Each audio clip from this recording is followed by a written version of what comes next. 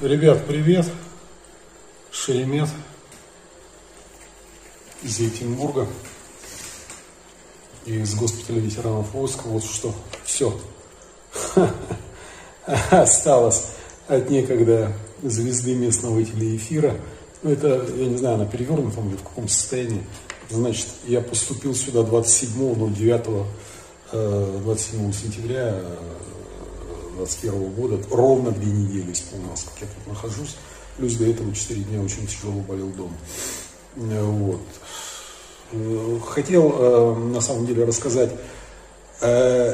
судьбе вакцинированных. Я сейчас говорю, вакцинируйтесь, спасайте себя, спасайте свою жизнь, спасайте родных, близких, сотрудников, их членов семей. Я все это просрал, погубил. Я уже рассказывал в ряде роликов об этом. И хотел сказать, а как другие вакцинированные тут лечатся, но, видимо, руки не дойдут, потому что, ну, опять же, спрашивают люди, а что я там, я не загибаюсь, я совсем не умер, меня хотя бы лечат. Я хотел бы на эту тему сказать и, как бы, ну, не то, что успокоить людей, а пояснить, что у меня все здорово.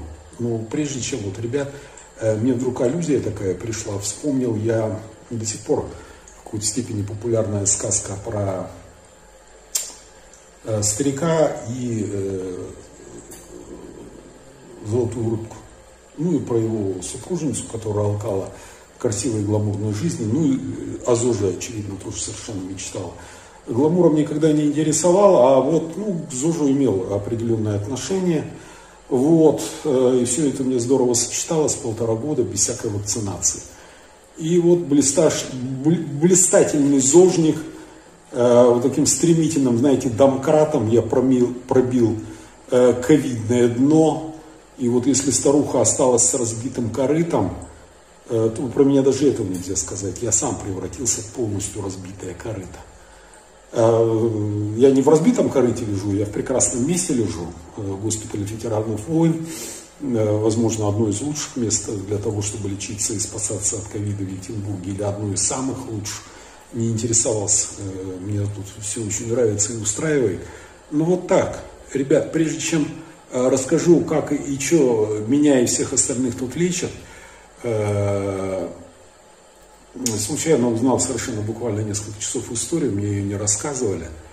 Опять же, к вопросу о том, что надо ли вакцинироваться, надо ли это срочно делать. Совершенно случайно узнал. Из Питера мне только что позвонили. Есть у меня там очень-очень-очень близкий, дорогой для меня человек. Э, вот, ну, на статус бабушки не тянет, ну, 80 лет, короче, бабушка. Очень дорогой мне человек.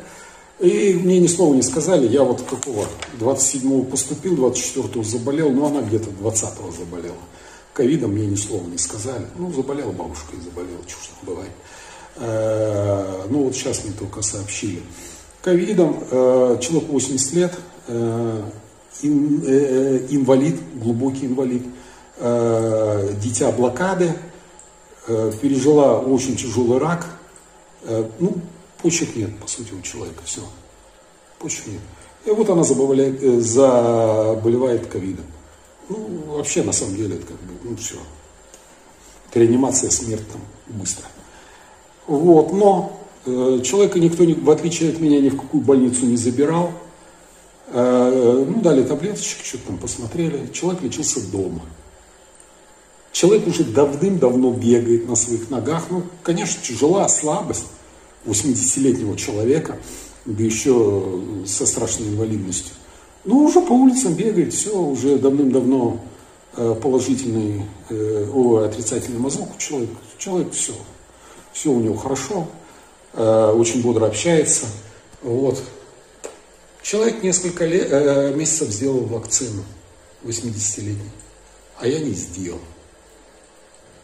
Вот она бегает по улицам, 80-летний инвалид и пенсионер, а я тут, разбитая корыто, и что-то тут она рассказывает. Короче, как лечит? Лечат все прекрасно, а лучшим просто мечтать не приходится. Э, в разных ситуациях я тут бы бывал и в шестиместной палате в четвером с мужиками, с простыми, и в трехместной, и в двухместной, и, и все по-разному было. Короче, неважно, шеремет, не шеремет, э, лечат по полной программе, от и до, лучшего места я просто себе не представляю. Если у вас какие-то, вы очень зажиточные, очень богатые люди, у вас э, денег как фантиков, ну, наверное, не, до, не стоит дома рисковать и что-то организовывать, у вас вряд ли лучше получится.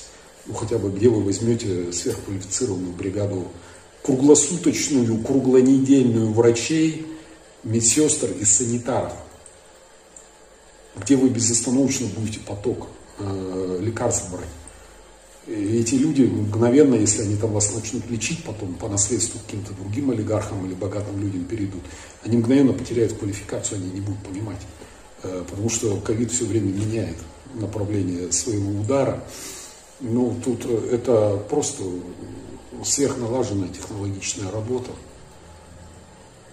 Тут сплошной поток, расписанный по минутам, по секундам, в котором задействовано огромное количество людей.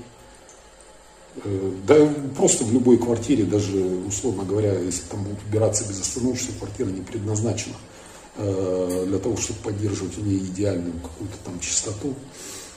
Вот, лечат здорово, лечат всех одинаково, неважно, шеремет там или нет. Ну, понятно, там, благодаря средствам массовой информации, там, моим многочисленным друзьям, там, мне приковано какое-то дополнительное внимание, э, но не более того. То есть, кому тяжелее э, лечат намного сложнее, быстрее, тяжелее. Насчет э, знаменитой больничной еды, какой-то страшной, ужасной, ничего сказать не могу. Мне, наверное, очень сильно повезло. Это мой четвертый за 55 лет поход в больницу. Ну, какие-то были недели, какие-то три дня там. В армии здорово шланганул перед дембелем. У меня с желтухой волшебный был, полуторамесячный э, больничный отпуск. Вот. Э, сложно сравнивать, все очень здорово. Мне очень нравится, как меня кормят, как меня питают.